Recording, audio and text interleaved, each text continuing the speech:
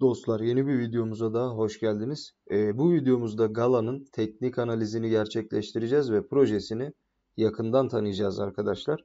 Ee, neymiş ne değilmiş diye bir bakacağız. Özellikle biliyorsunuz Metaverse'ün e, başı olan Mana projesiyle e, aslında fazlaca benziyorlar. E, her yönü aslında oldukça andırıyor. Bu videoda da e, yıl içerisinde neler yapabilir, e, ne gibi hareketler bekliyoruz arkadaşlar? Bütün bunları uzun uzun konuşacağız. Alım fırsatlarından kısa uzun vade e, ve projesine yakından bakacağız. E, bütün bunları yani eğer Gala'nın yatırımcısıysanız veya yatırım yapmayı düşünüyorsanız videoyu sonuna kadar dikkatle izlemenizi tavsiye ederim. Videoya geçmeden belirtmem gerekiyor ki burada anlatılanlar yatırım tavsiyesi değildir arkadaşlar. Kimseye al sat demiyoruz. Karınızdan da zararınızdan da sizler sorumlusunuz. Ayrıca sizden kanala abone olmanızı ve videoyu beğenmenizi önemli rica ediyorum. Ee, bizlere destek olmak amacıyla lütfen abone olmayı ve videoyu da beğenmeyi unutmayınız arkadaşlar. Şimdiden çok teşekkür ederim. E, şu an Gala'nın web sitesindeyiz bu arada ve çok güzel bir e, web sitesi var arkadaşlar gerçekten. Ama burada uzun uzun takılmayacağız. Popüler coinler e, listesinde 70. sırada arkadaşlar. Sözleşmeler kısmında BNB, Solana ve Ethereum'u görüyoruz. Etiketler kısmında da e, Metaverse, işte BNB, Polygon, işte oyun, oynamak için, e, kazanmak için oyna gibi e, birçok etiketi mevcut. E, arz tedarik aslında her oyun projesi gibi e, arasındaki denge biraz e, saçma diyebilirim. Yani birçok oyun projesinde de bu var arkadaşlar. Yani %10'u e, dolaşımdadır vesaire falan filan yani. Aslında tek galalık bir durum değil. Alice'de falan da TLM'de falan da e, durum aynı şekilde yani biliyorsunuz.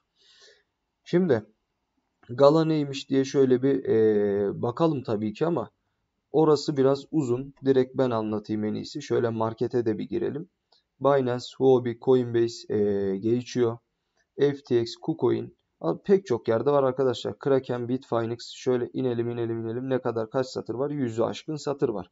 Yani aslında şunu görüyoruz. Gala e, görece yeni bir coin olmasına rağmen birçok borsada yine e, listelenmesini tamamlamış arkadaşlar. Borsaların hemen hemen e, hepsinde var e, diye diyebiliriz yani.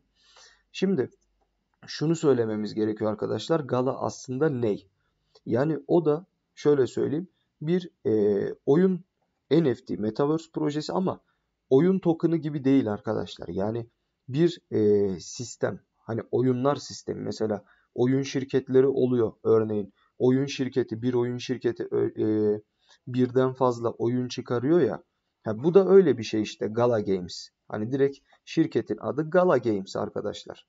Bu Gala Games e, bir oyun şirketi ve birden çok oyunu var. E, oyun çıkarıyor vesaire. E, durumlar bu şekilde. Gala'da arkadaşlar bu şirketin, e, bu sistemin token'ı. Aslında durum bu şekilde yani.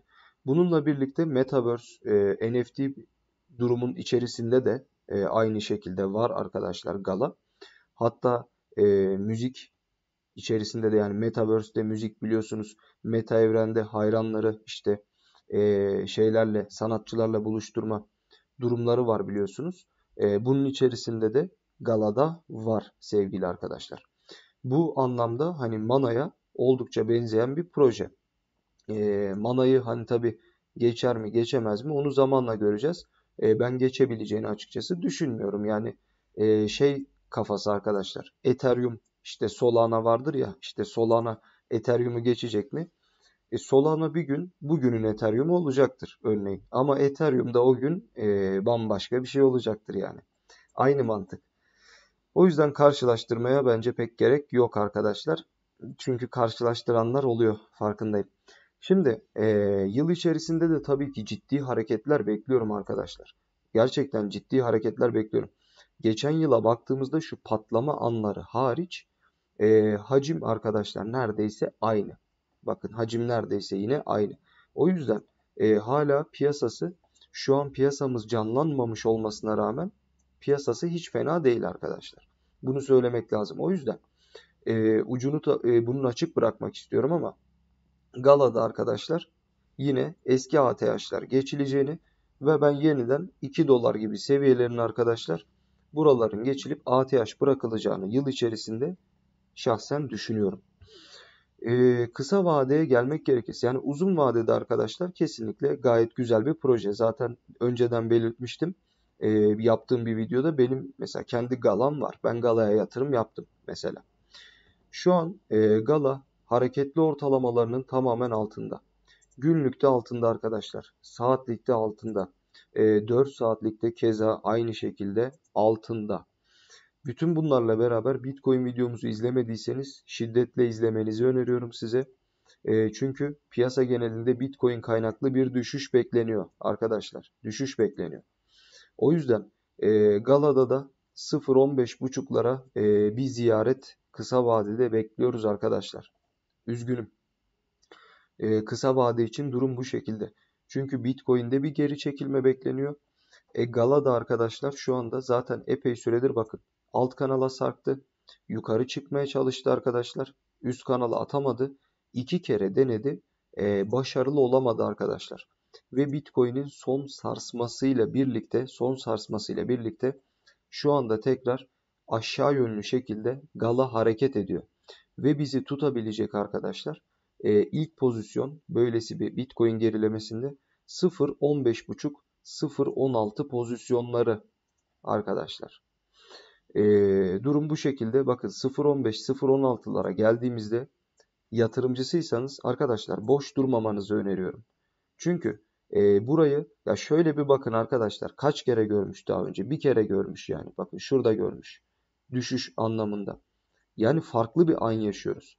Böyle bir düşüşte örneğin şunu düşün. Ya ben bu fiyattan galayı bir daha kaç kere görebileceğim acaba? Ben cevap vereyim arkadaşlar. Genel anlamda değerlendirirsek bu fiyatı bence gala tarihinde son görüşünüz olacak bence o yüzden böyle bir gerilemede ben değerlendirilmesi gerektiğini düşünüyorum. 15.5-16'larda. Şu an bir alım önermiyorum. E, çünkü piyasa geriliyor. Yani tutup 18.5'tan alıp 15.5'a düşünce sadece baka kalmak var bir de. Bununla beraber tabii ki Gala yapacağı düşüşle yeniden ilk hedefi 0.21.5'lar olacak yani üst kanal. Devamında bir diğer hedefi 23.5'lar günlükteki EMA 50'si olacak bu iki pozisyonda destekle bize alım fırsatı verecek. Buradan da yolculuk arkadaşlar e, tabii ki üst kanal olan 0.36'lara doğru e, devam edebilecek bir yolculuktur. Uzun lafın kısası galada kısa vadede düşüşün devamı bekleniyor. Bununla birlikte uzun vadede yönü yukarı arkadaşlar. Bunu söylememiz lazım. RSI'ye baktığımızda 35.5'larda görüyoruz ki e, RSI'yi da göz önünde bulundurduğumuz zaman büyük ihtimalle 16'lara kadar bir düşüşle RSI da 30'a kadar gerileyecektir arkadaşlar. E, bu da tabii ki tam anlamıyla bir al demesi anlamına geliyor. Videoyu izlediğiniz için çok teşekkür ediyorum. Kanala abone olmayı ve videoyu da beğenmeyi lütfen unutmayalım. Hepinize bol kazançlar dilerim. Hoşçakalın.